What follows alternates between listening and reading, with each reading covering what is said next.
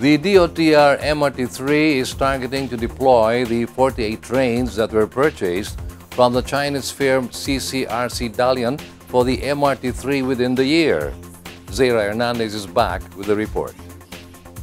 This plan was developed after Dalian agreed to absorb the costs for the adjustments of the trains. It could be recalled that the DOTR Secretary Tugade said remedies to be done on the Dalian trains should not be shouldered by the Philippine government.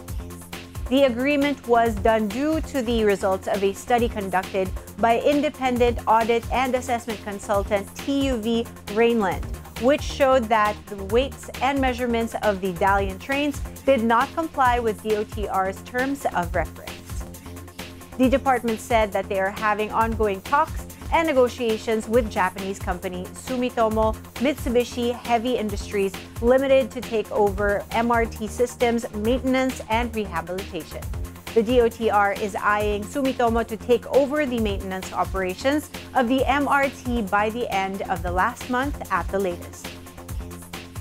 The rehabilitation will be helpful in solving the issue with the MRT trains as it will increase the number of train sets in operation from 15 to 18 train sets per hour.